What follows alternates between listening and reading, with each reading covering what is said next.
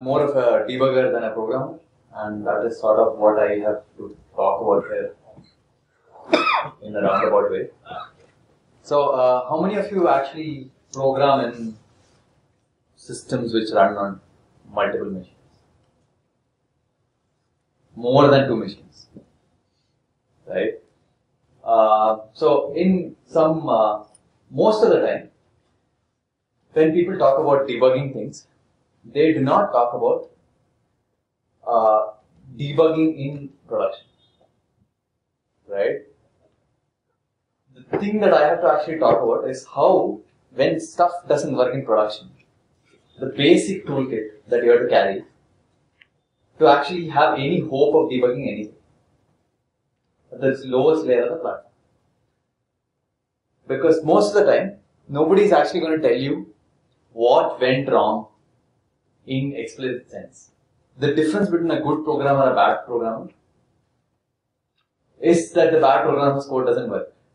The difference between a good programmer and a great programmer is when the great programmer's code doesn't work, it tells you why it didn't work. Right? And personally, I spend more time debugging an issue that could be fixed by one line than writing hundreds of lines of code all by myself from scratch. So, this is one slide that I found, and I don't really think I should try to make it again. Of all the tools that I've al- always used, packed into one single slide. Uh, let's list them out. Uh, people raise your hand if you know what I'm talking about. Strace. Okay. Netstat. Okay. What is Netstat useful for? It is network communication between two machines or IP address. It gives the statistics of the network packets. Uh, not that is not the only thing it does. So what NetStat gives you that is very useful is that it tells you what the open connections are right now. So when you log into a machine and you think that it should be connected to XYZ machines and you think it is connected to the wrong machine, for instance, you can immediately figure out by running a netstat-tn, right, which says TCP, do not figure out the domain name of the IP. Uh, the other thing NetStat is really good for is finding out what domain sockets are open. Who is reading it is not given by NetStat. Uh, can somebody tell me how to figure out which process owns uh, a listening socket? LSO. NetStat does that as well. So NetStat, when run in sudo mode, tells you which port is bound to which PID and what is the command line option of it. This is not terribly useful where I work because everything says Java. Uh, but after you get the PID, then you get to use something very interesting called the proc file system. Uh, any guesses on what proc stands for? So the kernel exposes something to the user to give you an idea of what each process is doing. So after you figure out which socket is it, is it listening to, you can go to slash proc slash PID slash FD and find out all the files kept open by that process. Maybe your process is reading the wrong configuration file. Maybe your process is writing to a file you don't think it is writing to. You use that to figure all that stuff out. Uh, now let's see. Uh, top. Okay, what does top do?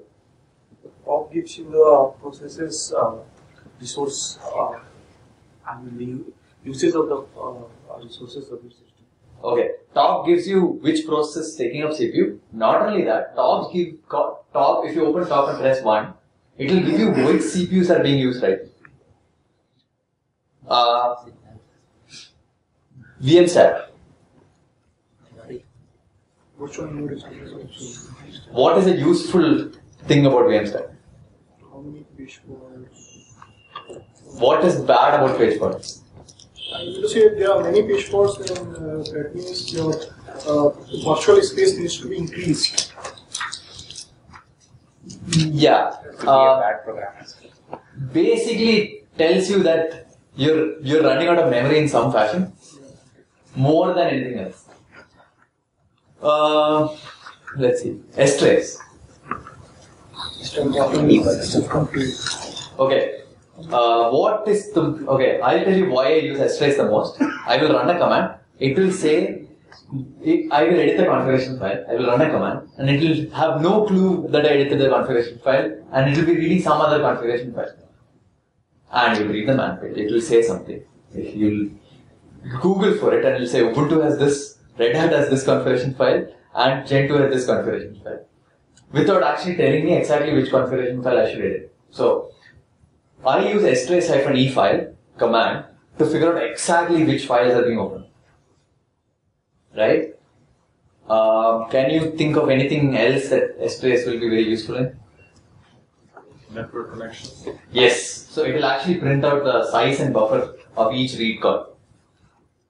So if you have given a 600 MB buffer to read and it is reading 4 KB at a time, you know that you are doing something stupid. Uh, my personally most funny experience is using a 900 byte buffer. And first time I read it, it gives me 900 bytes. Next time I read it, it gives me 400 bytes. Anybody want to guess why? From a network, sorry. Because the MTU is 1500 bytes that would Yes. So the first read comes out of the first 1500 byte packet I got. Next 400 bytes comes out of the same packet. And then instead of waiting for the next packet, it exits immediately. So strace helped me quickly figure out that I was doing two read calls, but I should have done- one read call with the right buffer size. Right? Uh, IOStat. Anybody has struggled to use IOStat? Yes. uh, disk IO. So, uh, right now, what I'm debugging is balancing disk usage in Hadoop. So we, we run with like 24, 25 disks. And when you run a command, it round robins between all disks. And there's no real scheduling, global scheduling. Now, what would be ideal if you could pick a disk which is not being used right now? Which is very hard. But the alternative, the how we end up trying to figure out if it is non-optimal or not, is by running IOStat and figuring out two things. What is the block size being written? What is the what what is the block size is being read? Or rather, number of blocks being read and the bandwidth you're reading. Uh, if the number of blocks you're reading is very large and you're getting a small bandwidth, it basically means that you're reading from many, many, many parts of the disk instead of reading from one part of the disk in a sequence. Anybody want to guess why reading one sequence is faster? No. Not the cache. No, because you don't seek too many times. Yes. Basically, it, disk is written on a cylinder and you just read that cylinder. Keep following that cylinder without moving the head. The file is not fragmented. Yes, that's the file system is not fragmented. You don't even need the file to be fragmented. The other thing is, if you accidentally happen to run uh, RAID 0 on software mode and you're writing data and you want to figure out which among your 24 disks is the one that is writing data slower or reading data slower, use something like IOStat and blktrace. Uh, IO top is slightly different. What does IO top do? Yeah, Which process is reading how much right now? Yes, which process is reading how much, but it doesn't tell you which process is reading how much from which file. Right? Uh, it, it, it, as anybody would guess, this is guesswork after you figure out what process is making a problem. But uh, I was a DevOps guy at Zynga, and most of the time when you are called in to fix something, nobody is actually going to tell you what all things are running. They're just going to tell you it is not working, please fix it. And you have half an hour to fix it right? At that point, you at least have to be able to triage a bug and see this is the person who is to blame in that half an hour, at the very least. For situations like that, these tools are tremendously useful. Um, let's pick Perf is too high tech for most production systems because you don't want the production system to be slowed down by perf counter. But when you're developing stuff, it makes a bigger bigger difference than when you actually have it in production. Uh, TCP dump dumps TCP data, but does it only dump TCP? What what level does it capture? It gives you link frames, which basically means it gives you Ethernet frames, raw Ethernet frames. And you need it on a day when some two people have put the same IP for different machines. right? you do a TCP dump and you realize that in this machine, this IP is this MAC address, and this machine, this IP is that MAC address. And when until you run into something like this, you will never realize that you need a tool like this. Uh, nobody needs to really think about ping, but uh, can you think of something better than ping to use? TCP traceroute. TCP traceroute, yes, but there's a very nice one called MTR in Linux, Yes. which tells you where in the entire packet chain packets are getting dropped. Right? And very soon we'll need something even better because multipath TCP is coming, which basically means that a packet leaving here is not always going to go through the same device in all directions. So if you're if you're on a phone and you're connected to Wi-Fi and data plan, your TCP transaction can start on the data plan and switch to the Wi-Fi without dropping a packet. So when similar systems get added for uh, internet servers, it is going to become fairly painful to just use ping. Right? Uh, and anybody know how ping works? So it's ICMP message. ICMP packet fine. What? How do you figure out which machine is or the ping part is easy. You send it, you get it back. Traceroute is the difficult one. Yes. So how do you go from ping to traceroute? You set the number of uh, the time to live. So So after that, when he hops it, uh, Increasing it by one packet, Yeah. by one number. So you send the TTL of one. The immediate server says no, I can't send it back. And it is because it gives a negative acknowledgement that it knows which server is it in the middle. And uh, sorry, I think I'm done with most of the list. And the most fun bit about traceroute is the packet size you can use. Right? Is that you can try a larger and larger and larger packet to see if the network fails in the middle. And can anybody tell why you would ever run something like this? So, if you have worked with TCP, there's something called Nagle's algorithm which is meant to live with older network cards, older routers in the middle. So, the somewhere in the middle, you are using 9000 byte MTUs, big jumbo things. Except somewhere in the middle, there's one router that doesn't understand this. It says I cannot process it, and you have to find it. That is the day where you actually use a ping with a size. You can say how many how many bytes do you want to send in the payload to see if it goes and comes back. And ICMP is not enough. So one of the tools that is not there is HPing 3. If you have ever had to deal with somebody who turns off pings. So what HPing 3 does is HPing 3 lets you send a TCP packet as a ping. It sends a TCP SYN packet, which is a connection initiation point. So HPing can tell you from this machine to this machine is port 80 open through the firewall. And when you deal with somebody misconfiguring the network server in production, these remembering that these things exist can be a complete lifesaver. And every one of the things in that list is very simple in a very Unix way. It's a very small, does one thing tool. But when all of them are put together, it makes like an amazing toolkit to actually work with stuff in production. That's what I have to talk about. Next. Who's next?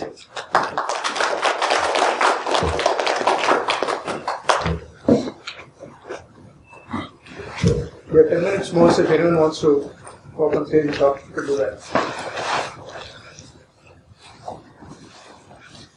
So Gopal, a follow follow up question to that. Yeah. Quiz for everybody. Yeah. Uh, so you have uh, multiple interfaces on a machine, Yeah. and you want to find out actually how much bandwidth you can get. Yeah. Maybe on a LAN, it may be on a WAN. What what would you use? Uh, network. Yeah. So network will do that, but uh, any other ways? Mm, Network, network is probably the best way. The other thing that you have to, so one of the tools that I didn't mention here is Netcat, and Netcat is the the do all anything thing of uh, networking. So NS NC-L starts a TCP server, and NC port number five data sends it there.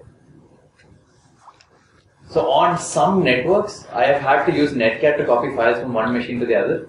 simply because SSH is too slow. Right? So, classic example is uh, inside app EC2 where you have two private IPs, but the private IPs don't have SSH listening on it. So you can't log in from one private IP to the other private IP. But port 80 is open between both of them. so print out the web server, start nc-l80, send it from here to there, a tar file, untar it there. So what you're basically running is tar hyphen c hyphen hyphen.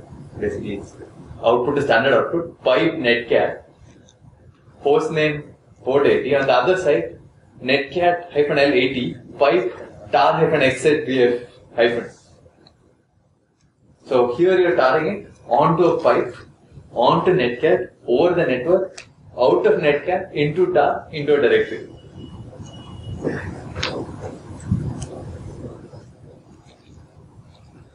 And also SOCAT is worth mentioning if you first to NetCat because it's even more. Yes. SOCAT is even better when you're dealing with domain sockets. So It's okay. SOCAT, associate. I would say that. Okay. Uh, if you use HA proxy, uh, HA has something called a socket interface. So you run socat haproxy.sock. It gives you a terminal where you can actually disable a server by hand without ever editing a configuration file. In a running haproxy instance, you can go in and say the server number three is no longer working. Disable it. Uh, we use socket in Zynga to poke HAproxy to figure out the counters for each thing. the stats socket, it will poke it and will give you like a graph without actually having to run anything in menus.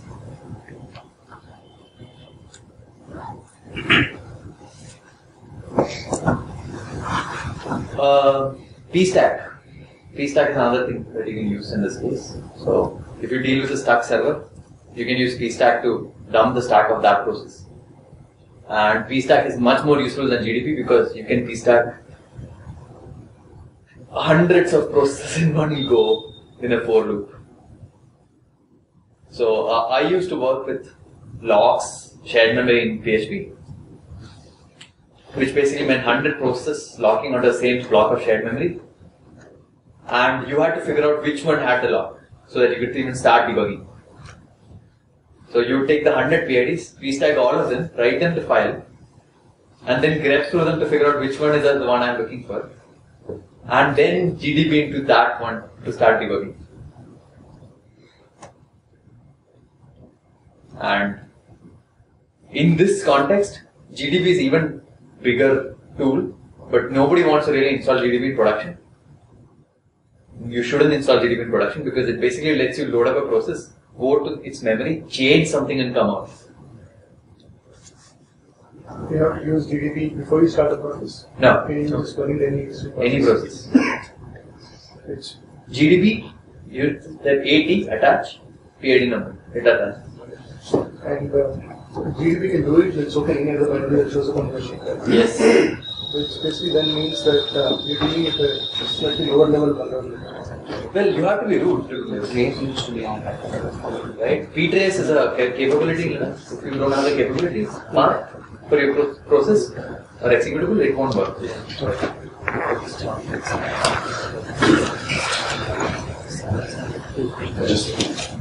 I think we have um, put this configured stack.